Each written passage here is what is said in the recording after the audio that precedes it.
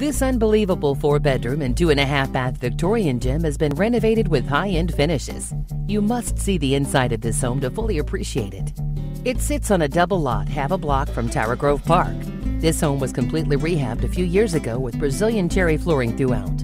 A second floor laundry, newer electric service, plumbing to the main, two high efficiency HVAC units for zoned heat and AC, the stereo intercom system on each floor, and a newer screened in porch addition. The kitchen boasts granite countertops, 42 inch cherry cabinetry, a walk in pantry, and is open to the living room. Enjoy your master suite with private full bath on the third floor. See this special home in person today with Tyler.